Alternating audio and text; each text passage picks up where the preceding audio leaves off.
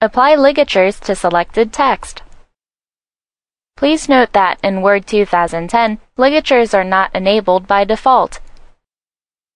Select the text to apply ligatures to.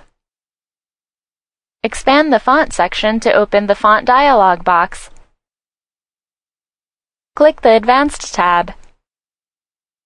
In the Open Type Features area, select the Ligatures drop-down. Select the appropriate ligature to use. Click OK.